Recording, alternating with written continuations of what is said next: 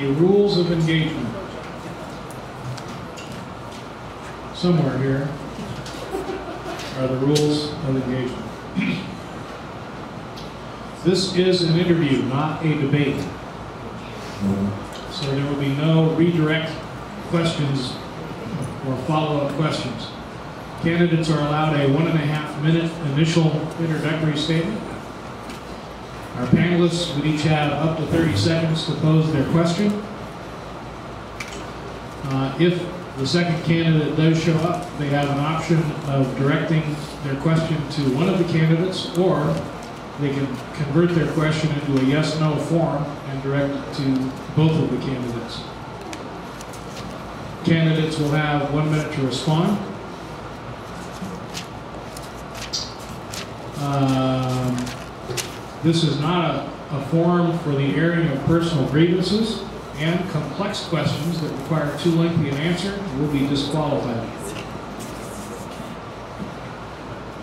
And so, uh, with that, Mr. Mackin, if you'll give us a 90-second introductory statement, please. Well, uh, I have- have. You have to get right up on the microphone, we apologize.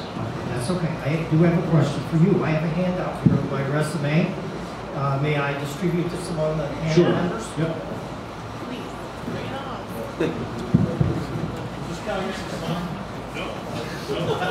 Does this count against his minute and a half? My timekeeper's got to fix the clock. You know, the camera's rolling. Thank you. Well, it's okay. It's all part of the game. What? Actually, she's not here. Here, save some paper. I like your tie. Good question. Okay, now, please proceed with your 90-second introductory statement, sir. Thank you. Uh, As you can see by my resume, uh, I have a, I'm an Army veteran from Vietnam. I am also a family man. I have a wife, I have a uh, daughter who lives in Ohio and grandchildren live there. Uh, I am an attorney by profession, not licensed in Nevada, but I was licensed in New York State and still am. Practiced law there for 32 years, dealing as a, essentially a solo uh, practitioner, one attorney, one secretary office. We handled pretty much anything that came through the door. Most of my practice involved real estate transactions, uh, municipal law, and you can see that I've held municipal offices before. Uh, And uh, I finished my uh, legal career in New York State, retiring in December 2007. I spent the last six years, six and a half years actually, as attorney in the Social Services Department. In that capacity, uh, unlike here where the district attorney's office handles child abuse and child neglect cases, uh, they fell to the Social Services Department to handle those types of matters. We handled them uh, not as criminal matters, we handled them as family court matters, uh, putting the emphasis upon uh, protecting the children as opposed to trying to punish parents uh, for behaviors that they had. All right. That beep does indeed signify the end of your time. That's what I thought when I saw it beat from Mr. Lax. Our uh, first uh, question will be posed by Tom Blanchard, who is a Navy veteran and president of Veterans Real Estate. Good afternoon. Um, Let me just ask you uh, one qu- uh, quick question on the uh, margins tax. Um, One, if you're for it, against it. Two, if you do um, get elected and are up in the legislature and the margins tax does, which is question three, does fail, would you still feel pressured or would you want to sponsor a bill that would um, increase some kind of funding for the school? Let me answer this this way. I feel that it is not appropriate for people who have been in the legislature or for candidates for the legislature to be telling people how to vote on the margins tax. And I'm not going to do that. I think everybody can decide what they think about it, whether they like it, whether they dislike it. And I think that the, uh, the legislature shouldn't have kicked the can down the road, but when they did, I think they have a responsibility to accept what the people vote on. And if the people voted in, it, then it needs to have rough edges taken off of it. I certainly, with my background, uh, I will be able to work on taking the rough edges off. If the people don't vote it in, well then, life has to go on, uh, because the people of the state have set the parameters. And I think that's their job to do, not mine at this point. Our second question will be posed by um, Mike Angel, who's the founder of Nevada Legal Forms and Tax Services. Mike? If elected, what's the one issue that you want to change Carson City or bring to the table Carson City? I think it's very difficult just to point to just one issue. There are all kinds of things that are going on in government. The, uh, the relationship of government to the economy is always of importance. The uh, decisions that are made in Carson City as to what the parameters are going to be on funding of various agencies, including schools and everybody else, those are always issues. And to say, well, I'm going to go up there and it's all going to be about this or that, it, it's not going to be, and I know it's not going to be. It's going to be on the things that come up. Obviously, the budget is going to be a very, very important part of it. Uh, I believe that the system here calls for the governor to present his budget. It doesn't call for 63 people in the legislature to go creating budgets. They need to work off what gets presented to them. Sometimes one will think that things are overfunded. There are other times that you think they're underfunded. And it's a matter of working things out and compromising, and that'll be part of it. Our next panelist to pose a question will be uh, Amber Guyman, who is a paralegal by uh, profession, military spouse, and parent. Um, what are your thoughts on a state lottery? And if you would support a state lottery, how would you delegate the funds or what would you recommend the funds go towards? Okay. I am not a great fan of, let's call it, the kind of tax system that we have here in the state. I like to call it a boutique tax system. It reaches this, it reaches that, it reaches this, it reaches that, it doesn't touch this, it doesn't touch that. And unfortunately, I think we tend to react to that with the idea that we need a specialized tax for schools, or we need a specialized tax for police, we need a specialized tax for this, that, or the other thing. The problem with that type of system and that type of thinking is that there are many, many worthy causes. And I think that it is unfortunate when the very first worthy cause gets a great hearing, but by the time you reach the third one, nobody wants to hear about it at all. And I think that's what legislatures are all about. Now, to get back to the lottery issue, I understand that the gaming industry is not in favor of having a lottery. I think it's too bad. I think it could be part of an overall picture, but it isn't. And I think that uh, we have to live with that. And until it gets changed, either by the legislature deciding to change it, and I think that that's not likely to happen unless the gaming industry has a large voice in what goes on with it, or it's changed by vote of the peak, then lottery can be looked at.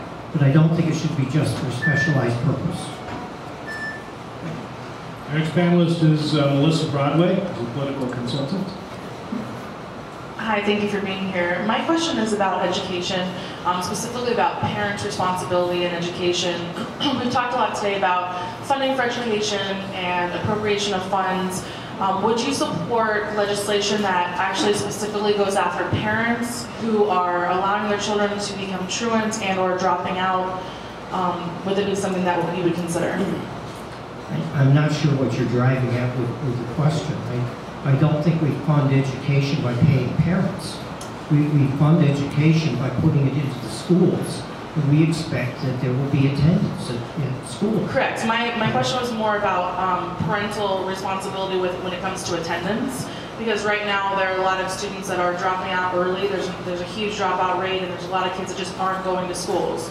Do you feel like there should be legislate tougher legislation on parents who are not making sure that their children attend schools on a regular basis?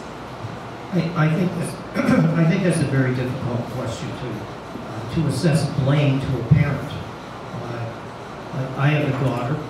Fortunately, things went well with us. But I know people who have children who are very rebellious, who don't want to do what their parents tell them. And I think that if you try to base the system on punishing parents because there is a really errant child, it's really putting emphasis in the wrong place. I do think that in education, it's important to uh, try to give every child that comes to that school a good background, a good background of what constitutes America, and uh, and get them started in life. But but let's also re- realize that not every child is terribly receptive to these things, and it's going to be an ongoing process, going on forever, between teacher and student and parent. Our next panelist is Jay Girardi, who's a um, Marine veteran. How you doing, Joe? Good. Gerald, actually, that's, that's the root name of my name, Geraldo, so. Yes, I see that.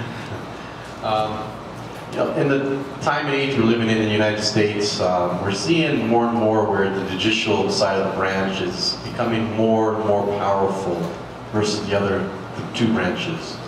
Um, Back in the uh, early days of our forefathers, uh, in particular uh, Abraham Lincoln and Thomas Jefferson, if I'm not mistaken, correct me if I'm wrong, when a federal judge passed a law, there was times and instances where they said, thank you for your opinion and continued to move on.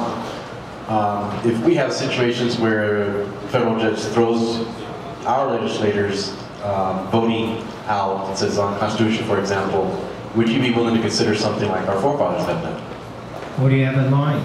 I'm, I'm not sure that, that your view of what our forefathers did or didn't do uh, coincides with my view of what they did or didn't do is, but Say if um, you, as as a, uh, if you become um, elected, and you as a legislator, along with the legislators, pass a law, a bill, and it's challenged, and a judge, federal judge, for example, rules it unconstitutional. Would you leave it at that, or would you uh, challenge that, or or look to move, even ignore that federal judge calling it unconstitutional? I, I don't think that you can or should just ignore other branches of government. I think this is why we have checks and balances. And, and let's be realistic. Uh, none of us are, omnipotent and, or uh, omniscient. We don't know everything. We're going to put things together. Sometimes legislation is concocted that, that looks pretty good on its face, but once it gets into te- the test of, of a real case applied to it, maybe it isn't so smart after all.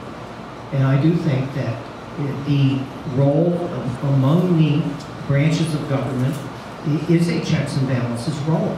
And just because a federal judge tells me that I'm wrong about something, doesn't mean that I should get my back up and say, well, I'm going to ignore you. And, and frankly, I think in our early days, uh, if I remember my history lessons correctly, and I may or may not, uh, John Marshall was a very powerful uh, legis- uh, judicial voice, and he didn't agree with Thomas Jefferson and some of the others. All right, uh, our next uh, question comes from Rowena Crittenden, who's the founder of the Shine Family Foundation, except that she was called away. And, and as the odds would have it, she's the one sitting right next to the bright lights that are shining around us. So I was unable to see what she was doing. So we're going to call next on um, Dr. Danielle Dubright, who is a holistic doctor. Yes, what do you see as being Nevada's greatest challenge and how will you address it? I think we have a number of challenges. I, I think we have a couple of them that are sleepers, and I think they're very important to keep in mind. Uh, one of them is i- is financial, and I think that in our state we're going to be looking around for sources of revenue. Uh, I think it's just it, it's important for you to know what I won't do, not just what I'm willing to do, and that is that one of the things that's been floating around out there is this whole idea of bringing nuclear waste into Yucca Mountain. And I realize that there are states in this country that are willing to pay, pay some money in order to go ahead and do it. But I think that in this great state, the resort industry, The retirement home sector is so important that we have to make a value judgment to stay away from that. And I think that it, it's sort of like uh, Adam and Eve in the Garden of Eden being presented with that tantalizing apple. This is one we should leave alone. Our next uh, question comes from Michael Mazur, who is an attorney here in Las Vegas. Good afternoon, Joe. Um, You uh, testified earlier, or actually spoke earlier, about some rough edges on the margins tax if it uh, did get passed, and you worked to remove those rough edges. Can you share with us what you see as the rough edges to the margin tax? I, I think with any of these types of taxes, I think you can see from, from my educational background in taxation, uh, the devil is not necessarily in the legislation. It comes in the regulations that get adopted to, to try to carry it out. And that's the part where I would be concerned with uh, margins tax. How you define the things that are deducted from the, the totals uh, compared to things that aren't. And uh, I think it, it's premature at this point to be talking about what they are or they aren't. I mean, we don't even have the, the, the measure passed by the voters.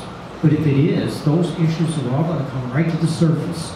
And just as they are, uh, let's be real, in the mining tax and its application, there are all kinds of issues as to what qualifies and what doesn't qualify as an appropriate deduction before the tax is applied. The same thing will happen with the margins tax if it's passed.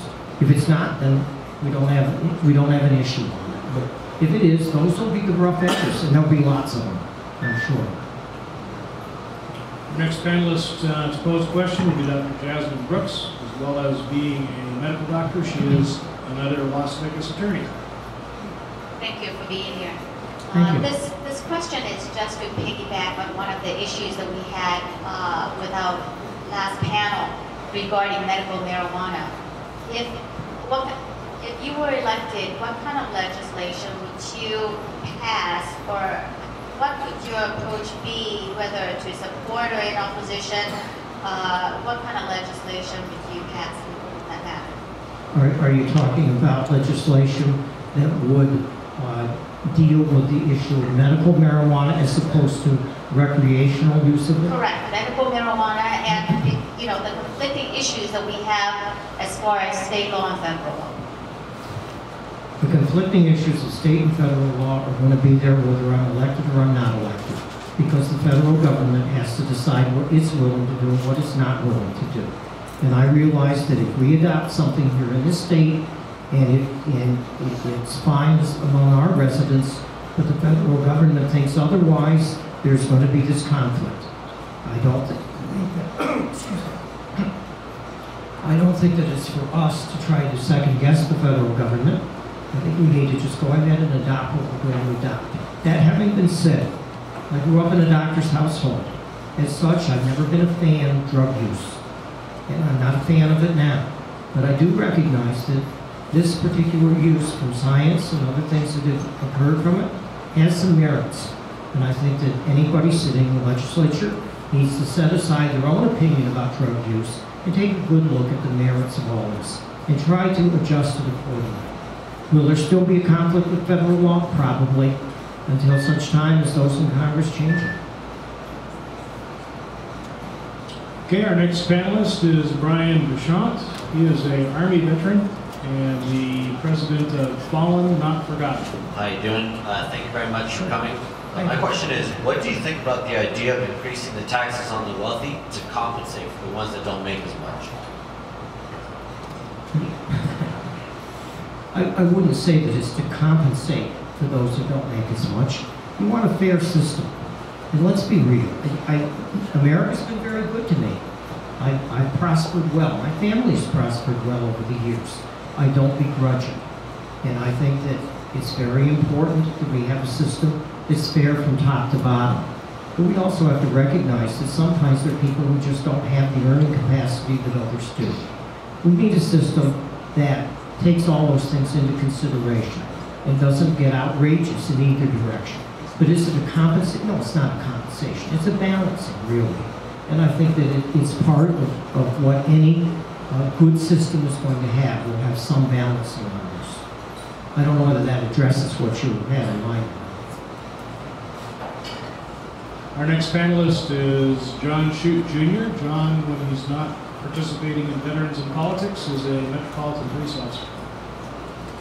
How you doing? I just have a question uh, regarding uh, the bill that's going to come from the legislature allowing uh, professors and students at the universities to carry their firearm as long as they have a CCW and are trained. Would you be in support of that or against that?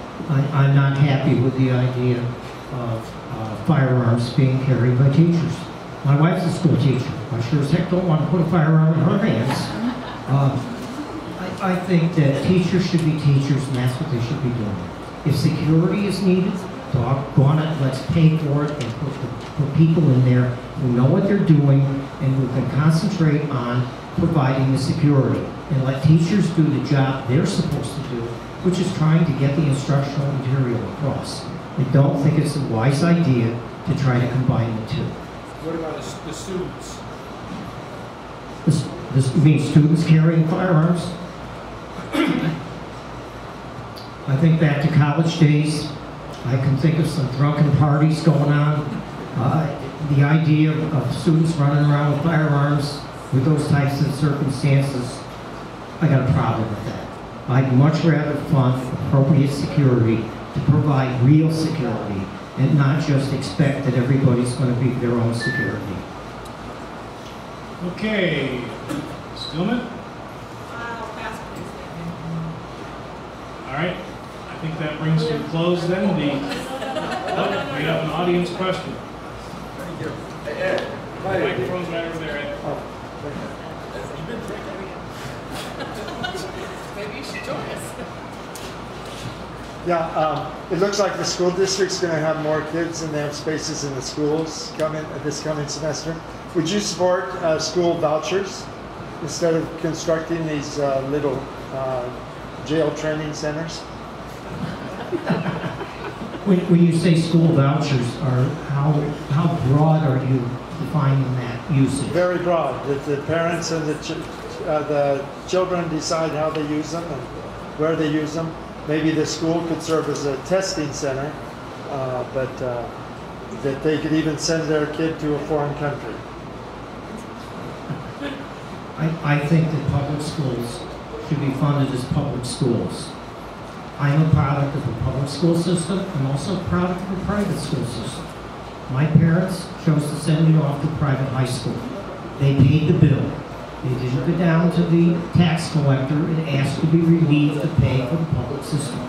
I think we have a public system, it needs to be open to everybody, and I'm very concerned with the idea that vouchers get spread into a way to fund private schools for special people.